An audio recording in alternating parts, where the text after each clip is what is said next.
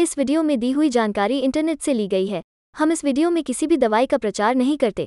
किसी भी दवाई को इस्तेमाल करने से पहले एक बार डॉक्टर से ज़रूर सलाह लें। अगर आप इस वीडियो को देखकर किसी दवा का उपयोग करते हैं और आपको कोई साइड इफ़ेक्ट होता है तो उसमें हमारी कोई ज़िम्मेदारी नहीं होगी। मोमेफ्लोनेजल स्प्रे एक दवा है, जिसका उपयोग एलर्जी के कारण छींकने और नाक बहने जैसे एलर्जी के लक्षणों को रोकने और उनका इलाज करने के लिए किया जाता है।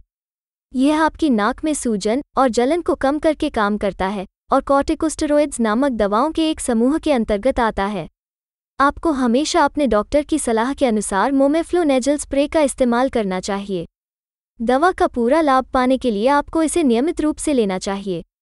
आमतौर पर, आपको इसका उपयोग करने से पहले अपनी नाक को धीरे से फूंकना चाहिए। दवा को दूसरे में लगाते समय एक नथुने को बंद रखना चाहिए और फिर यह सुनिश्चित करने के लिए कि यह नाक में गहराई तक पहुँचता है। सूंघना चाहिए। फिर दूसरे नथुने के लिए दोहराएँ। इस दवा के सबसे आम साइड इफ़ेक्ट्स में सिरदर्द छींकना, नाक से खून आना, गले में खराश और श्वसन तंत्र का संक्रमण शामिल हैं।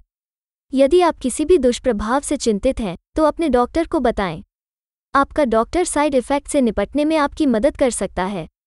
सामान्य तौर पर, आपको उन स्थितियों से बचने की कोशिश करनी चाहिए जो आपके लक्षणों को बदतर बनाती हैं, पराग और धूल के कण जैसी चीज़ें, और धूम्रपान न करना सबसे अच्छा है। इस दवा का उपयोग करने से पहले, आपको अपने डॉक्टर से सलाह लेनी चाहिए कि क्या आप गर्भवती हैं या स्तनपान करा रही हैं। अपने डॉक्टर के साथ जोखिम और लाभों पर चर्चा करना महत्वपूर्ण है।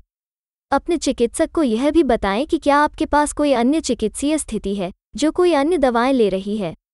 वीडियो को पूरा देखने के लिए धन्यवाद। अगर आपको वीडियो अच्छी लगी हो तो वीडियो को लाइक करें और साथ ही हमारे चैनल को सब्सक्राइब करके नोटिफिकेशन बेल आइकॉन पर क्लिक करें और ऑल नोटिफिकेशन को क्लिक करें। धन्यवाद।